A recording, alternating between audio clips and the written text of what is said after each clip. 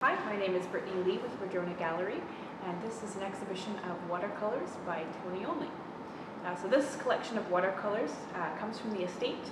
Um, they have never been shown before, so we're very excited to get them up on the walls. Um, this collection, I would say, is unified by uh, Onley's love of travel, um, showcasing not only the West Coast, um, but other locations throughout North America, Europe.